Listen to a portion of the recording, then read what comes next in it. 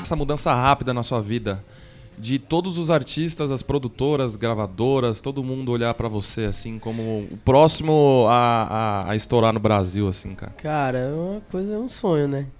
É um sonho, porque, tipo assim, eu achei que eu ia viver minha vida inteira como compositor. porque eu tentava, tentava, eu, tinha, eu, eu sempre tive muito medo de ser uma eterna promessa, né? Entrei em várias produtoras. Eu lembro que você tava na Audio Mix, Tomei no você cabo. passou e na muito- FS. Pode soltar aí, aí. É, a FS foi a, foi a primeira, né? É, é- é a me chamar. Eu não cheguei a entrar lá não, mas existiu esse desejo. O Soroca é um queridaço. Sou muito apaixonado por ele. Um cara do bem, gente boa. E aí eu passei pra uma produtora lá também, lá da Bahia, da Penta. Que, que é uma grande produtora de lá também. Aí depois fui chamado pra Audio Mix.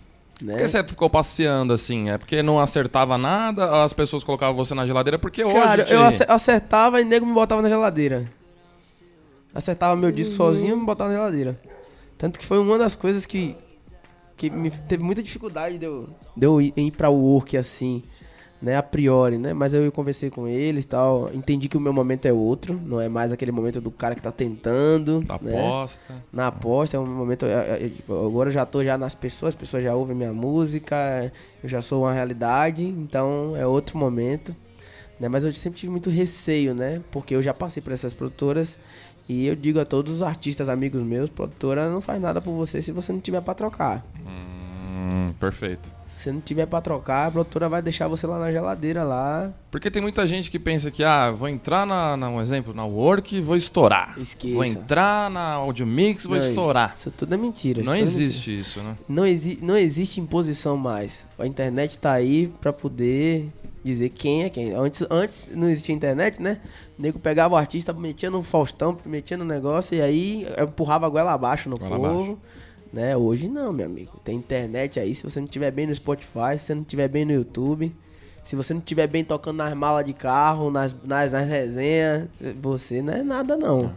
Não adianta você ir pra TV. Você vai na TV cantar uma música, no outro dia você tá esquecido. Ah. É verdade, é verdade. Né? Foi a entrada na Work Show. Porque você falou que todo mundo queria você, todas as gravadoras, todos os escritórios. Por que, por que o Work Show? Cara, eu, eu- assim, eu eu, eu, eu consegui, eu consegui, consegui conquistar o público do Norte e Nordeste muito forte. E depois eu percebi que a minha música tava entrando tava entrando cá no, no Descendo aí. descendo, né? E eu precisava ter um precisava ter alguém que dissesse assim, ó, tá comigo. Entendeu? Alguém que tivesse um respaldo, que fosse um guarda-chuva pra mim, né? Porque assim, eu poderia a priori ficar só, tal, fazer show pra caramba, mas eu não penso só em na questão da grana, né? É óbvio que a grana é importante. E eu acho que a workshop com o poder que ela tem, ela vai me fazer, acho que duplicar, triplicar isso Pô, que eu ganharia, né? Eles vão triplicar. Mas assim, antes de mais nada, eu acho que a workshop vai me ajudar carreira, né? Olha o que o workshop fez na estratégia, Carreira. né? Olha o que o workshop fez na vida da Marília, fez na vida da Maria Maraíza. Inclusive, eu falei com a com a Mayara ontem, ela falou, rapaz, e o Toninho tá comigo, né? Dá um Toninho. beijo pro, pro, pro Ded, aí o papaizão. Ô, já falando do Toninho, ô Toninho, eu quero você aqui, O cara. Toninho é a maior agenda do aqui, país. cara. Vem aqui Tem que pra, respeitar. E aí, conversa. e aí o papai foi lá e falou, agora você tá no debaixo do meu braço e, e, e assim, eu acho que a workshop vai me, me nacionalizar mais ainda, né? Acho que vai conseguir me levar pra do Iapoque ao Chuí aí. Então, eu acho que foi a melhor escolha que eu fiz.